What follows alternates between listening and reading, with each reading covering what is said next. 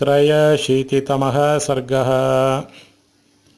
राघवश्चापि विपुलं तं राक्षसवनौकसां श्रुत्वा सङ्ग्रामनिर्घोषं जाम्बवन्तमुवाचः। सौम्यनूनं हनुमता कृतं कर्म सुदुष्करम् श्रूयते च यथा भीमः सुमहानायुधस्वनः।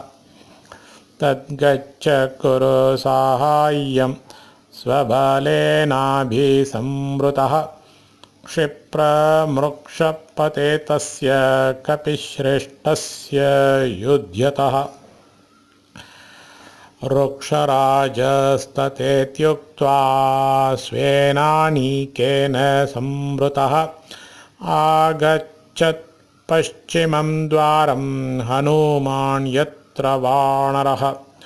अथायान्तं हनुमन्तं ददर्शर्क्षपतिस्तदा वानरैकृतसङ्ग्रामैः श्वसद्भिरभिसंवृतं दृष्ट्वा पथे हनुमांश्च तद्रुक्षबलमुद्यतं नीलमेघनिभं भीमं सन्निवार्य न्यवर्तत सत्येन सह सैन्येन सन्निकर्षं महायशाः शीघ्रमागम्य रामाय दुःखितो वाक्यमब्रवीत्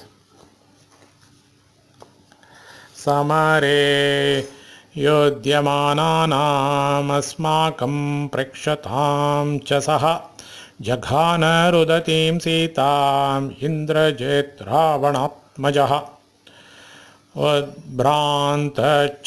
उद्भ्रान्तचित्तस्तां दृष्ट्वा विषन्नोऽहमरिन्दम तदहं भवतो वृत्तं विज्ञापयितुमागतः तस्य तद्वचनं श्रुत्वा राघवशोकमूर्छितः निपपात ततः भूमौ छिन्नमूल इव द्रुमः।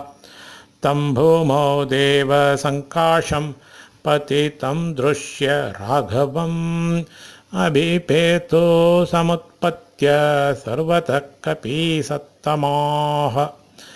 आसिञ्चन् सलीलैश्चैनं पद्मोत्फलसुगन्धिभिः प्रदहन्तमसंहार्यं सहसाग्निमिवोत्थितं।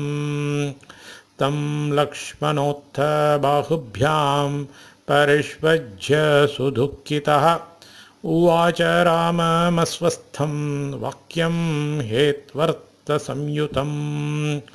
शुभे वर्त्मणि तिष्ठन्तं त्वामार्य विजितेन्द्रियम्। अनर्थेभ्यो न शक्नोति त्रातुं धर्मो निरर्थकः। भूतानां स्थावराणां च जङ्गमाणां च दर्शनं। यथास्ति न तथा धर्मस्तेन नास्तीति मे मतिः। यतैव स्थावरं व्यक्तं जङ्गमं च तथाविधं। नायमर्थस्तथा युक्तस्त्वद्विधो न विपद्यते। यद्यधर्मो भवेद्भूतो रावणो नरकं व्रजेत् भवांश्च धर्मसंयुक्तो नैव व्यसनमाप्नुयात्। तस्य च व्यसनाभावात् व्यसनं चागते त्वयि।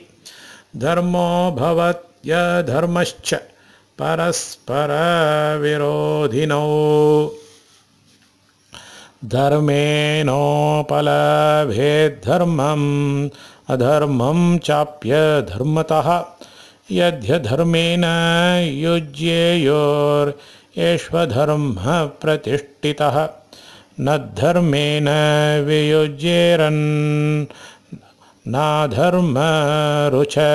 जनाः धर्मेणाचरतां तेषां तथा धर्मफलं भवेत्।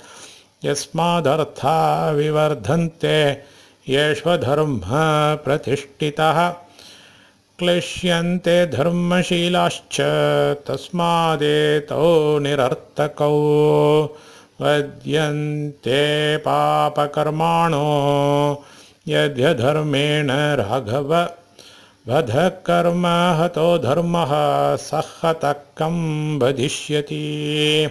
अथवा विहितेनायं हन्यते हन्ति चापरं विधि स लिप्यते तेन न स पापेन कर्मणा अदृष्टप्रतिकारेण अव्यक्तेन सता सता। कथं शक्यं परं प्राप्तुं धर्मेणारिविकर्षण यदि सत् स्यात् सतां मुख्य नासत् स्यात् तव किञ्चन। त्वया यदीदृशं प्राप्तं तस्मात् तन्नोपपद्यते अथवा दुर्बलक्लीभो बलं धर्मोऽणुवर्तते दुर्बलो हृतमर्यादो न सेव्य इति मे मतिः। बलस्य यदि चेद्धर्मो गुणभूतपराक्रमैः धर्ममुत्सृज्य वर्तस्व यथा धर्मे तथा बले। अथ चेत् सत्यवचनं धर्म किल परन्तप अनृतं त्वय्यकरणे किं न बद्धस्त्वया विना। यदि धर्मो भवेद्भूत अधर्मो वा परन्तप न स्म हत्वा मुनिं वज्रे कुर्यादिज्यां शतक्रतुः। अधर्मसंश्रितो धर्मो वि विनाशयति राघव। सर्वमेतद् यथा कामं काकुस्तकुरुते नरः। मम चेदं मतं तात धर्मोऽयमिति राघव धर्ममूलं त्वया छिन्नं राज्यमुत्सृजता तदा। अर्थेभ्योऽथ प्रवृद्धेभ्यः संवृद्धेभ्यस्ततस्ततः। क्रिया सर्वा प्रवर्तन्ते पर्वतेभ्य इवापगाः। अर्थेन हि विमुक्तस्य पुरुषस्याल्पचेतसः। विच्छिद्यन्ते विच्छिद्यन्ते क्रिया सर्वा ग्रीष्मे कुसरितो यथा। सोऽयमर्थं परित्यज्य सुखकामसुखैदितः पापमाचरते कर्तुं तदा दोषप्रवर्तते यस्यार्थास्तस्य मित्राणि यस्यार्थास्तस्य बान्धवाः यस्यार्था स पुमां लोके यस्यार्था स च पण्डितः यस्यार्था स च विक्रान्तो यस्यार्था स च बुद्धिमान् यस्यार्था स महाभागो यस्यार्थो स गुणाधिकः अर्थस्यैते परित्यागे दोषाप्रव्याहृता मया राज्यमुत्सृजता धीर येन बुद्धिस्त्वया कृता यस्यार्था धर्मकामार्थस्तस्य सर्वं प्रदक्षिणम्। अधनेनार्थकामेन नार्थशक्यो विचिन्वता। हर्षकामश्च दर्पश्च धर्मक्रोधशमोदमः। अर्थादेतानि सर्वाणि प्रवर्तन्ते नराधिप येषां नश्यत्ययं लोकश्चरतां धर्मचारिणां तीर्थास्त्वयि दृश्यन्ते दुर्दिनेषु यथा ग्रहाः त्वयि प्रव्रजिते वीर गुरोश्च वचने स्थिते।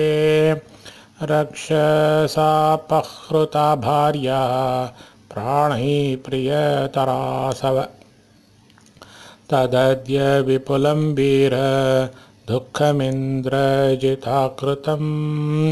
कर्मणा व्यपनेष्यामि तस्मादुत्तिष्ठ राघव उत्तिष्ठ नरशार्दूल दीर्घबाहो धृतव्रत किमात्मानं महात्मानम् आत्मानं नावबुध्यसे।